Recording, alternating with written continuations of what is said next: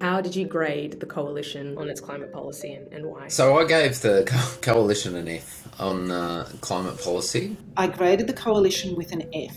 Given a grade of E. I gave them a C. I graded the coalition's emissions policy targets as F. The government is actually still putting taxpayers' money into measures to encourage increased exports of fossil fuels. We are making the problem much worse by encouraging further export of coal and gas from Australia. The slogan technology not taxes is quite dishonest because the technology is being produced by taxes. And of course, technology is part of the solution. I mean, uh, solar and wind energy are technology. Lithium ion storage or pumped hydro storage is technology.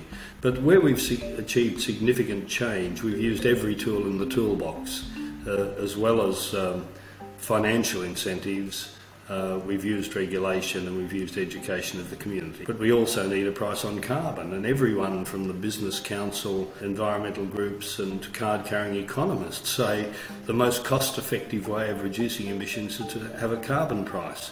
And unfortunately, the government is ideologically opposed to the idea of charging people. They have a very big focus on disaster recovery um, which is actually something that they have also been criticised for. Um, so not enough maybe focusing on, the preventive measures. There is a lot of funding that has been promised for disaster recovery, and that's such a crucial uh, issue for many Australians right now. So when we talk about proactive adaptation, so that is looking at our, you know, the way that we are planning planning our cities, but also there's there's a whole heap of preventive measures that we could already start investing. I think we need overall a shift in, in how we think about living in a changing climate. And that really looks at the long term, you know, protections of climate impacts. And I haven't really, having looked at their policies, that I just don't see that kind of long term uh, vision of what well adapted Australia should look like. The fact that they have been in power now for over eight years and not introduced fuel efficiency standards as they'd previously promised, not to have national incentives to bring down the cost of electric vehicles, and to really not have a science based uh, national net zero transport strategy means that we really have to ask what have they been doing in this space to drive down emissions. So transport is a major contributor uh, to both international as well as national greenhouse gas emissions in Australia. Fortunately, with transport, emissions continue to increase, and on current trajectories, they'll continue to increase for another decade or so. So we can't afford to wait another 10 years to start to reduce those emissions. Now, the government has indicated that concerns associated with Russia's invasion of Ukraine and, you know, possible problems with gas supply in Europe illustrate the importance of accelerating supply. Of course, that doesn't apply to Australia because we are we've got plenty of gas. Problem is we're export, exporting most of it. Probably the best starting point isn't to accelerate gas production, but to actually regulate the way in which gas is exported to take account of domestic needs, um, as they change as we transition more towards renewable energy. Taking more account of the gas that we have got and using it wisely and making sure we give regard to domestic consumers um, would be a strategic approach. So we need to get our gas policy right. We need to make sure that we're transitioning swiftly away from fossil fuel, that in fact, if we want to stay within two degrees, there can be no new fossil fuel projects. Ultimately, I think the coalition is going to be judged, at least in terms of policy. What are our specific greenhouse gas emissions targets? Do we have a target for net zero? And how certain are we that we are committed to that target? Are the policy instruments in place going to actually reach those ends? Are we contributing to other sets of responses at the international level? So Our commitments are very low compared to other countries. There's also this frustrating doubling down on the fossil fuel sector at precisely the moment when all the international signals are that we should be transitioning away and helping to facilitate that transition away from fossil fuels. We are saying we are deeply committed to this region and to the Pacific Step Up, but at the same time, we're deeply letting down those countries and undermining our diplomatic um, interests in, at the same time. Uh, so, how did you grade Labor? Labor's not doing an incredibly better job. I graded Labor C. I, you know, graded them as a C. It's it's a pass. And I grade them big. So I gave Labor a C. I graded Labor D. I mean, it's uh, still not nearly good enough, but it's, uh, it's much better than the coalition.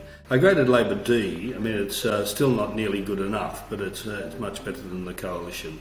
Well, the most significant uh, part of Labor's policies is the commitment to a 43% reduction by 2030.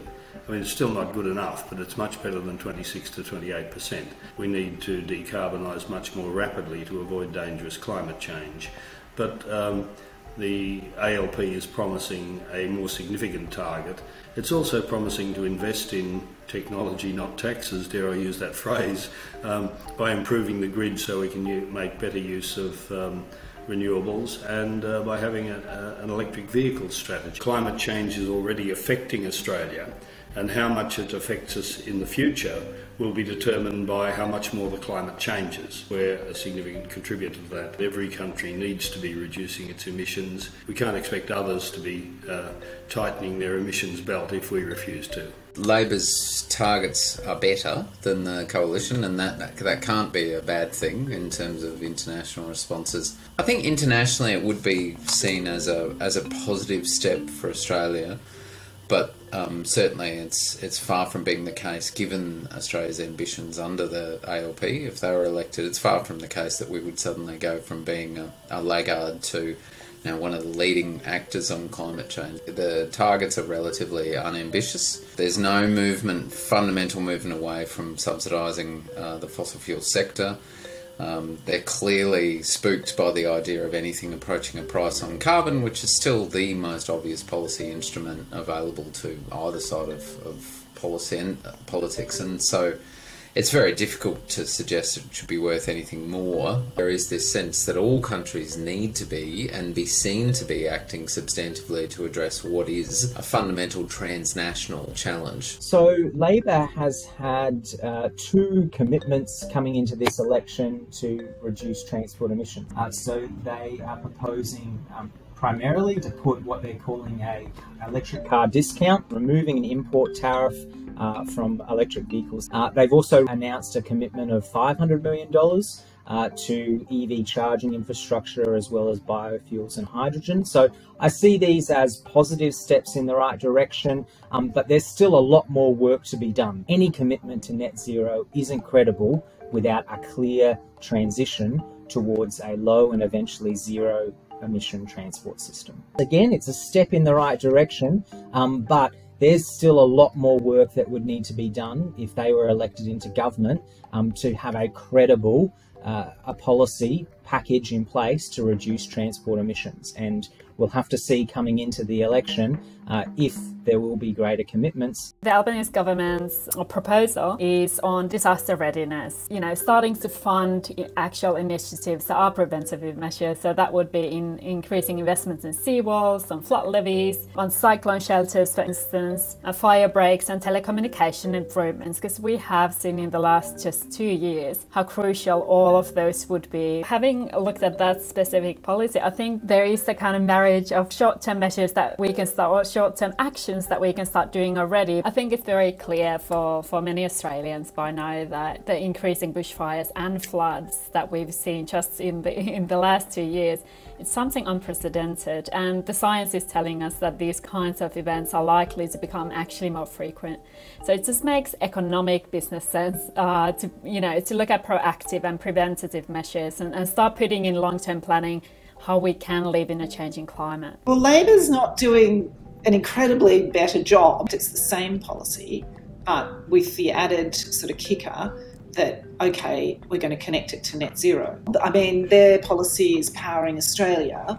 Um, they're connecting gas expansion with net zero, although it's not clear how that's actually going to operate. If you accelerate gas production, then you're increasing greenhouse gas emissions. It's not an improvement if just to say we're going to connect it to net zero and then not explain how that's actually going to be implemented. Gas, of course, is a fossil fuel, um, and fossil fuels release greenhouse gas emissions, which contributes to the warming of the planet. It's extremely important that we transition away from fossil fuels. So we need to get our gas policy right. We need to make sure that we're transitioning swiftly. If we want to stay within two degrees, there can be no new fossil fuel projects. Nothing, we can't take anything more out of the ground.